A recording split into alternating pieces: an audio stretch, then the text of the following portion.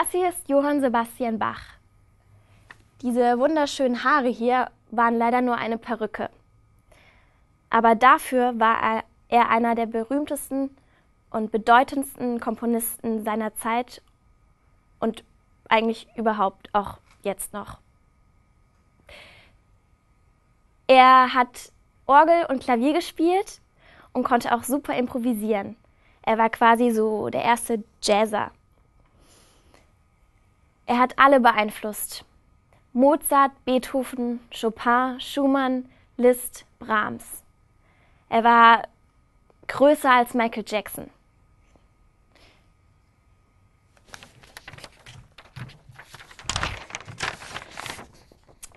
Ich habe mir noch ein bisschen was aufgeschrieben, weil ich mir nicht alles merken konnte.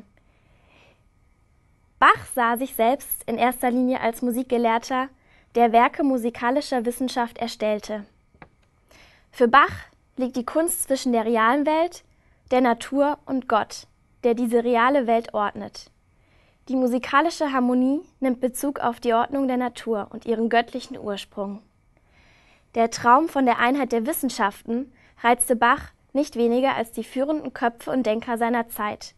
Und so folgte er seinem eigenen empirischen Weg, indem er die bis dahin bekannten Grenzen der Komposition und der musikalischen Darstellung im Ausmaß und im Detail aufhob und erweiterte.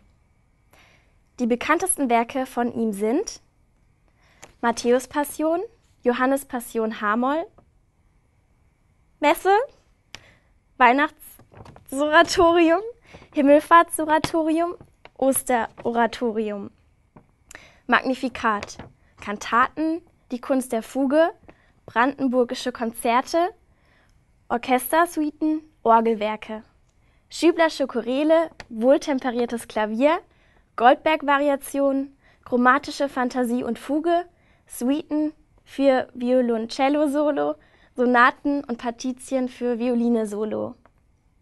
Alles anhören!